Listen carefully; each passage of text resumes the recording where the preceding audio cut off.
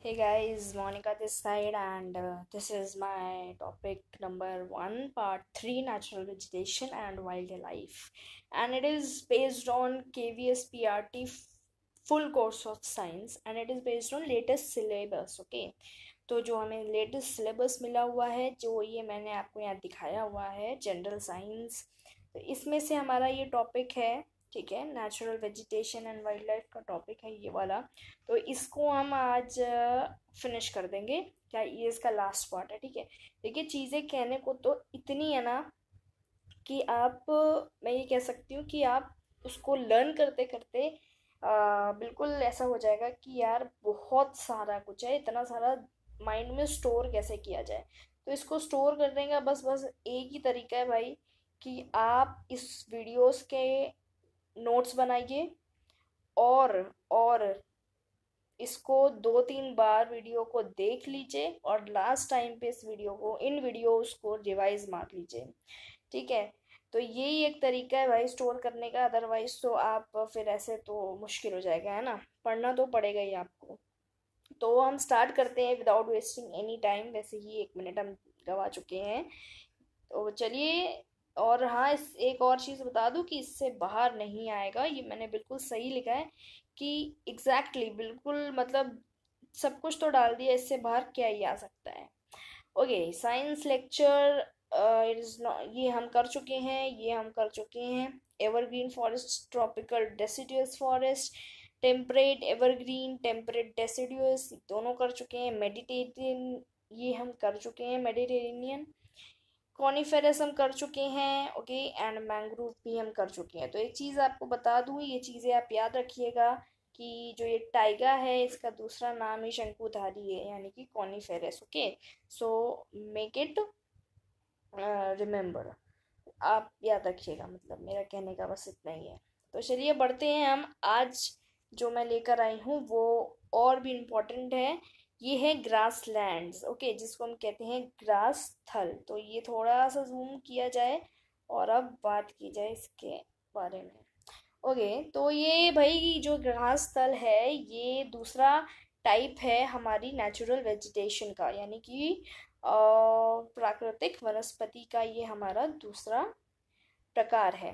तो घास थल जहाँ पे सबसे पहले आती है ट्रॉपिकल ग्रासलैंड यानी कि उष्ण उष्ण कटिबंधीय घास।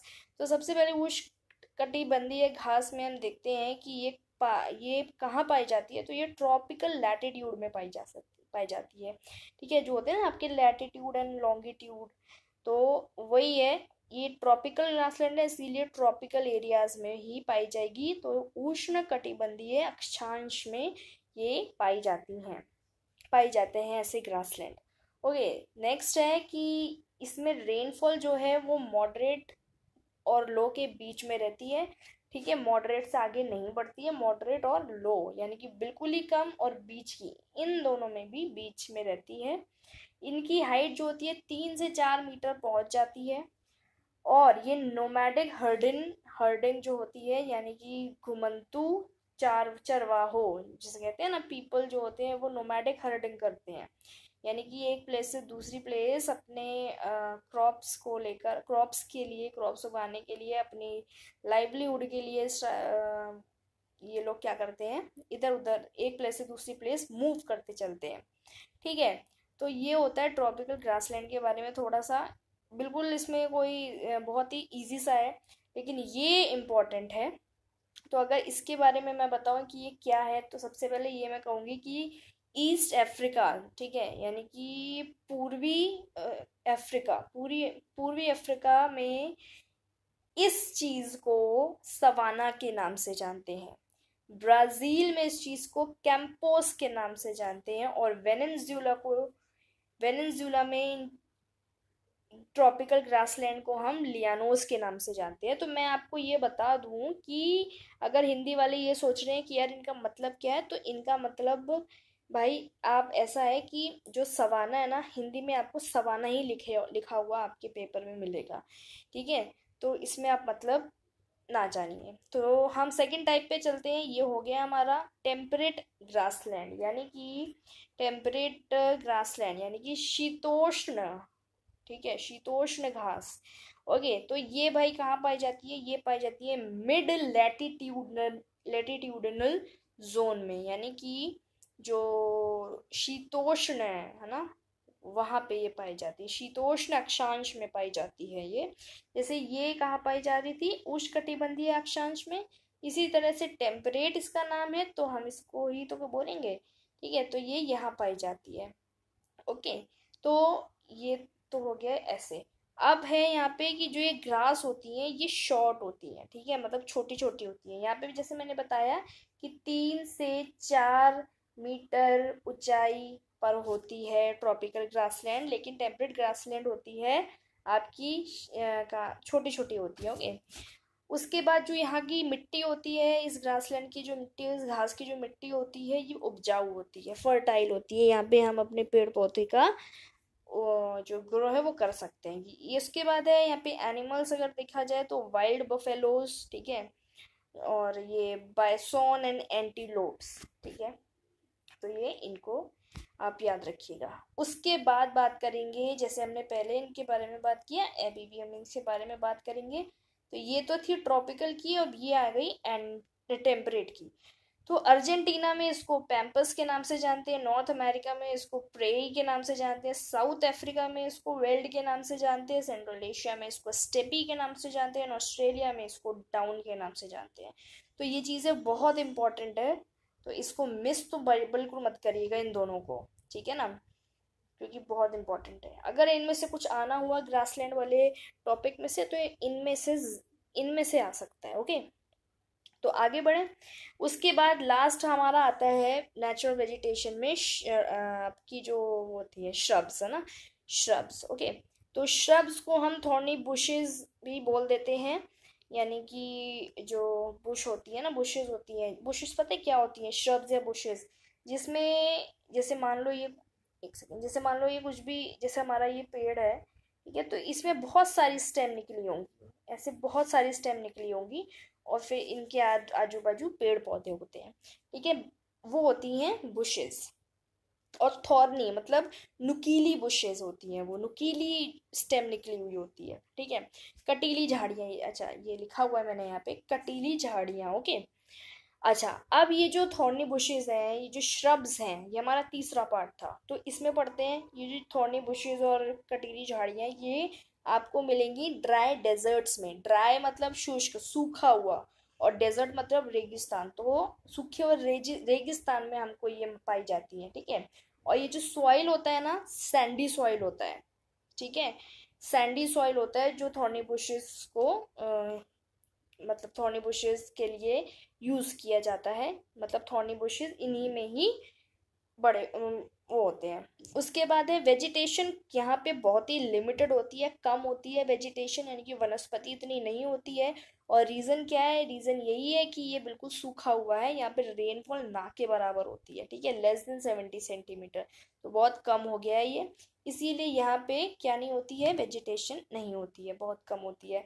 नेक्स्ट पॉइंट है tropical deserts are in western margin of continents तो जो ये डेजर्ट्स एक, आपके श्रब्स वगैरह में एक ट्रॉपिकल डेजर्ट नाम से भी कुछ है मतलब कि आपकी उष्ण कटिबंधीय रेगिस्तान जो होते हैं, वो महाद्वीपों के बिल्कुल मार्जिन पे, आपको वेस्टर्न मार्जिन पे मिलेंगे, ठीक है? पश्चिमी जो बिल्कुल मार्जिन है, महाद्वीप के, महाद्वीप जो होते हैं, उसकी जो पश्चिम मार्जिन है, वहाँ पे आपको ट्रॉपिकल डेजर्ट देखने को मिलेंगे।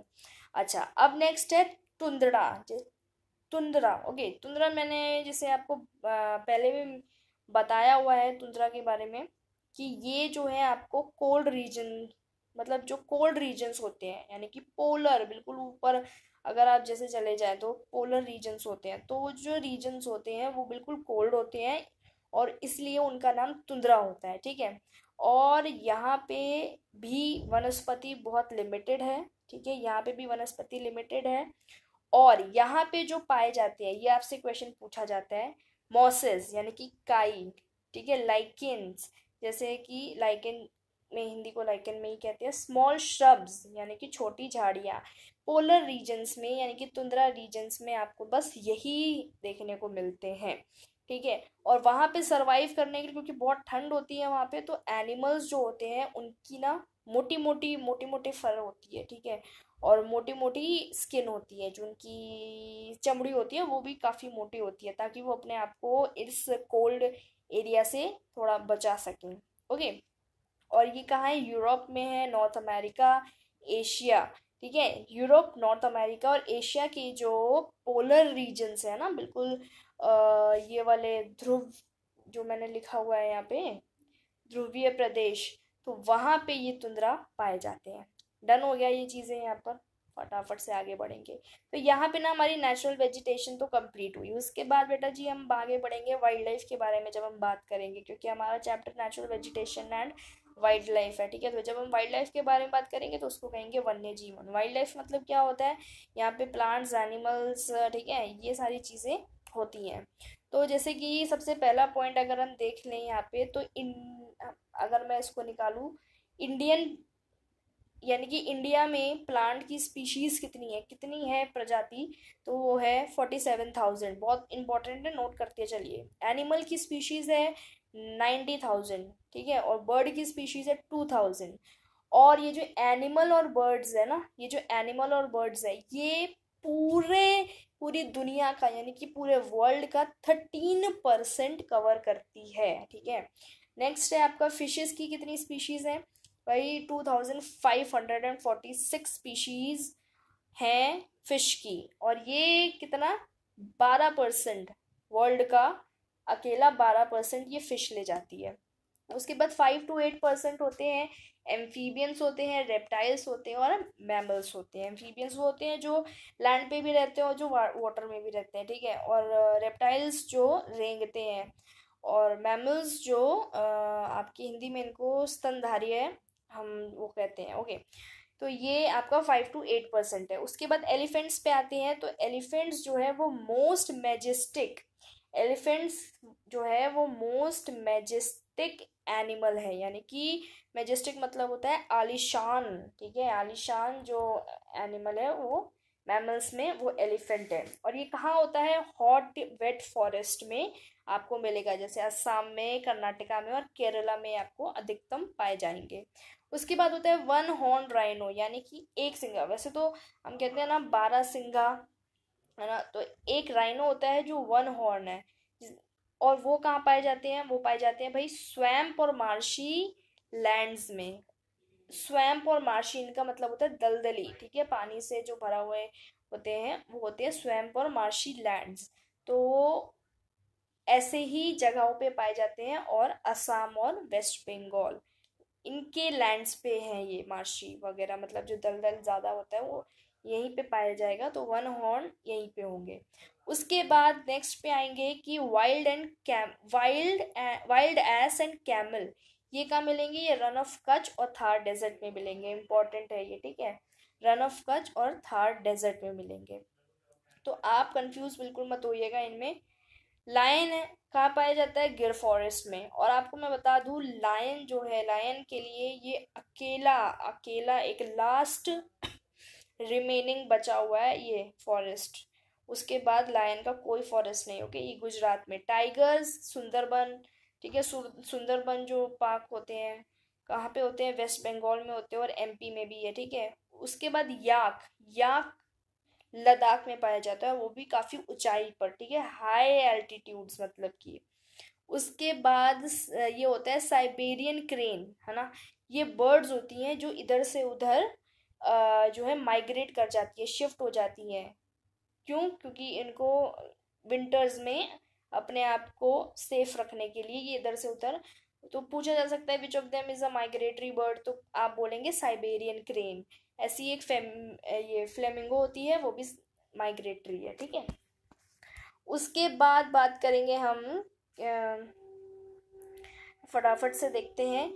लास्ट में ये देखिए क्या लिखा हुआ है कि हाई रीचेज ऑफ़ हिमालय मतलब कि अगर जब हम जैसे हिमालय पे और छत्तीस सौ छत्तीस सौ मीटर, जब थर्टी सिक्स हंड्रेड मीटर जब हम ऊपर जाएँगे तो हमको एक एल्पाइन वेजिटेशन देखने को मिलेगी। एल्पाइन वेजिटेशन का मतलब ही यही होता है जो बहुत ऊंचाई पर होती है, ठीक है? तो जब हम हाई रेंजेस ऑफ़ हिमालय, बहुत ऊंचाई पर जाएँगे, छत्तीस सौ मीटर की तो एल्पाइन टाइप की वेजिटेशन हमें देखने को मिलेगी। नेक्स्ट है last remaining habitat of Asiatic lion अच्छा जैसे मैंने अभी बताया कि लास्ट हैबिटेट इनका बचा हुआ है लायन का तो वो कौन सा है? गिर है। ये बहुत इंपॉर्टेंट है सारे। उसके बाद है कि बायोस्फीयर कितने हैं हमारे? बायोस्फीयर रिज़र्व तो फोर्टीन है। नेशनल पार्क एटीन है, यानी कि राष्ट्रीय उद्यान। और ये wild life sanctuary four ninety है। मैं वैसे अभी बताऊँ, अगर लेटेस्ट का 2019 का, इस टाइम का, आज की डेट में तो ये सब चेंज हो चुके हैं। देखिए नेशनल पार्क 99 हो गए हैं और वाइल्ड लाइफ सेंचुरी जो है, ये आपकी कहीं फोर फाइव फोर्टी थ्री बताते हैं, कहीं फाइव फोर्टीन बताते हैं वो ऑप्शन पे डिपेंड करेगा, ठीक है? तो ये चेंज भी हुए हैं। तो ये चीज़ें क्यों, ये चीज़ें क्या है? ये है जहाँ पे आपके प्लांट्स और एनिमल्स को प्रोटेक्ट किया जा सकता है, ठीक है? उसके बाद है लास्ट में एक चीज़ और दे रखी है साइट्स के नाम से, जिसका मतलब है convention on international trade in endangered species यानी कि इसका क्या मतलब है कि जो हमारी इंडेंजर्ड स्पीशीज है, यानी कि जो लुप्त जा, प्रजातियाँ हैं ना, जो धीरे धीरे ख़त्म होती जा रही हैं। तो उन पर जो व्यापार चल रहा है ट्रेड जो उन पर चल रहा है तो उसी के लिए उसी पर एक सम्मेलन, यानी कि उसी को रोक सम्मेलन यानी कि कन्वेंशन ठीक है? तो उस चीज़ को रोकने के लिए ही हमारा स्टेप लिया गया था, जो कि साइट्स के नाम से जाना जाता है। तो आपको ये चीज़ें समझ में आई, बिल्कुल। अच्छा अब यहाँ देखिए, यहाँ क्या लिखा हुआ है कि एक तो लुप्त जाति होती है और एक विलुप्त होती है। लुप्त मतलब इंडेंजर जो कि ख़त्म होती जा रही हैं धीरे धीरे ख़त्म हो रही हैं और जो विलुप्त है, उसका मतलब होता है एक्सटेंट जो ख़त्म हो चुकी हैं। तो ऐसी कितनी स्पीशीज़ हैं जो ख़त्म हो चुकी हैं? ट्वेंटी और ऐसी कितनी आपकी ये हैं इंडेंजर्ड स्पीशीज़ वो है थर्टीन हंड्रेड यानी कि one thousand three hundred okay अच्छा अब ये हो क्यों रहा है ऐसा? क्यों हो रहा है रीज़न अगर आपसे पूछ लिया जाए एग्ज़ाम में tick one tick the cause behind this extinction and endangered species तो इसका रीज़न क्या है? इसका रीज़न आप बोलेंगे हंटिंग है। लोग जो है, इनकी हंटिंग हो रही है फॉर कमर्शियल पर्पस यानी कि अपने व्यापार के लिए, अपने काम धंधे के लिए इनको जो है निशाना बनाया जाता है। इसीलिए ये विलुप्त होती जा रही हैं। अच्छा एक और लास्ट चीज़ बची है यहाँ पर, जो कि है वाइल्ड लाइफ प्रोटेक्शन एक्ट जो कि था 1972 में। खत्म हो गया यहाँ पे आपका natural vegetation and wild life थोड़े, ताकि वीडियो लंबी ना बने गाइस इसीलिए पार्ट्स ज़्यादा आ रहे हैं। अदरवाइज़ मैं इसको एक में भी ख़त्म कर सकती थी, पर बस मैं, मुझे यही पता है कि लोग जो है बच्चे बोर ज़रूर हो जाते हैं, इसलिए अलग अलग पार्ट्स में इनको लेकर आ रही हूँ। तो आप टेंशन मत लीजिए साथ साथ करते हुए चलिए तो सारी चीज़ें आराम से कंप्लीट हो जाएँगी। फ़िलहाल मैं सोच रही हूँ थोड़ा एच टेट का भी शुरू किया जाए, ठीक है? तो एच टेट की भी काफ़ी यू नो ईवीएस अलग सी आती है मतलब अलग से क्या आती है, वो ईवीएस उसमें आप कह सकते हो रियल ईवीएस इंक्लूडेड होती है। इसमें ईवीएस कम है, हमारे ईवीएस वाले मतलब जो हमने ईवीएस की एक सीरीज़ स्टार्ट करी हुई है, उसमें ईवीएस कम एस एस टी ज़्यादा है राइट तो ये हमें देख के चलना होगा कि क्या किसमें क्या पढ़ना है। तो फ़िलहाल मैं आपसे अलविदा लेती हूँ। एंड गाइस कमेंट ज़रूर करिए। क्योंकि ये ही ये ही एक्चुअली में मेरा मोटिवेशन होता है। ये बस कमेंट जो होता है ना एक वही मोटिवेशन देता है। सीरियसली गाइस आपको लगता होगा कि हर यूट्यूबर uh, यही बोलता है बट ऐसा नहीं है। सच में मोटिवेशन अगर आप अच्छा कमेंट कुछ लिखते हैं तो हमें लगता है कि हाँ आप वीडियो देख रहे हैं, आपको चीज़ें पसंद आ रही हैं, आपकी हेल्प हो रही है, और वही जो हेल्प वाली चीज़ है, वो ही मोटिवेट करती है कि हाँ भाई, बनाओ, ठीक है ना? तो चलिए, आपसे अलविदा। Thank you so much for listening me thank you guys